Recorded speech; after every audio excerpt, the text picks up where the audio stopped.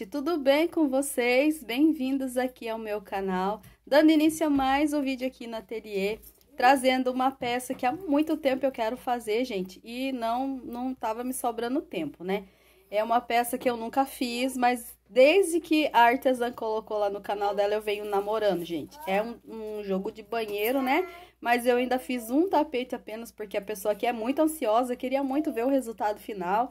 Já comecei o segundo tapetinho, porém, tô na dúvida se eu vou fazer ou não a tampa do vaso, por conta desse verde mescladinho aqui, que tá bem pouquinho, não sei se eu vou conseguir fazer a união das duas florzinhas, né? Pessoal, eu trouxe aqui o material que eu usei, só não tá aqui o barbante cru, porque eu tô usando ele também em outra, outra produção, tá bom, gente? Então, tá lá na sala já, começado em uma outra produção, né? Mas vou mostrar pra vocês aqui o material que eu usei. Tô aqui já com uma base dele no cru, né? Já prontinha aqui, ó. Já preparando pra poder entrar com barbante rosa. As flores, gente, eu usei essa mescla maravilhosa que é o sereia, ó. Deixa eu ver se vai focar a cor aí pra vocês. É o sereia, é uma mescla linda. Já tô imaginando outras combinações de cores aqui, né? E usei, então, rosa bebê, tudo barbante número 6, tá bom, gente? Rosa bebê, azul bebê. E aí, eu fiz já, tô aqui com uma peça prontinha, minha gente, a balança tá ali. Acho que eu não vou nem pausar esse vídeo, já vou aqui, ó, dar uma afastada, ligar a câmera, ligar a câmera, a câmera já está ligada, ligar a balança e vou pesar aqui junto com vocês. Gente, não sei se vai dar pra vocês verem, deixa eu abaixar um pouquinho aqui, ó. 321, 322 gramas, e assim, eu me surpreendi com essa peça. Que realmente, quem aí tem dificuldade de fazer tapetes retangulares, eu aconselho, gente. Inclusive, eu vou deixar o link da videoaula na descrição do vídeo. É lá do canal da Amanda Vieira, é o tapetinho Miss é, modificado, se eu não me engano. Acho que é assim que ela chama esse tapete. Coisa mais linda, pessoal. Então, agora eu vou abrir para vocês verem. E eu tô, assim, encantada com o resultado. Olha isso, pessoal. Olha esse tapete, que se não ficou a coisa mais linda. Como eu falei, né, ele é lá do canal da Amanda Vieira, gente, eu vou deixar o link da videoaula na descrição do vídeo, tá bom? A Amanda, se eu não me engano, ela faz ele com oito carreiras. Eu fiz com nove, gente, aí eu fiz esse biquinho de acabamento aqui, ó, que eu tô colocando ele em várias peças, né? E eu achei que ficou bem legal aqui nesse tapetinho. Quis dar uma, uma economizada, né? Porque o bico de acabamento que a Amanda faz nesse tapete é Lindo, lindo, lindo. Acho que é aquele biquinho do tapete Mari. Deixa a peça muito bonitinha, gente. Mas como eu sou muito ansiosa, eu queria terminar logo, aí eu coloquei esse bico aqui.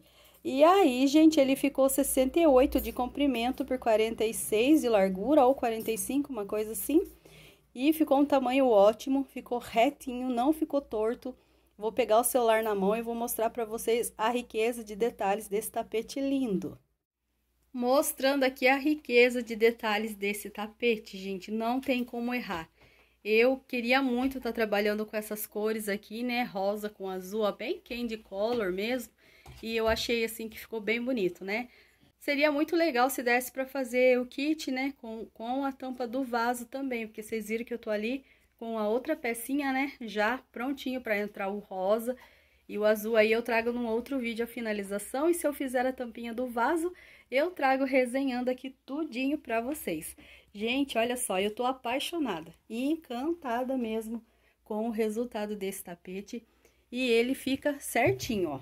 Eu posso mexer com ele pra lá e pra cá, gente, que ele não fica torto, olha isso. Lindo, né? Há muito tempo eu queria estar tá fazendo esse modelo e agora eu consegui dar conta. Tô, assim, muito contente comigo porque eu achei que ficou, assim, lindo. Ficou do jeito que eu queria mesmo, né? Se eu fizesse o biquinho da videoaula, eu acho até que ele ia chegar a uns 70 centímetros, gente.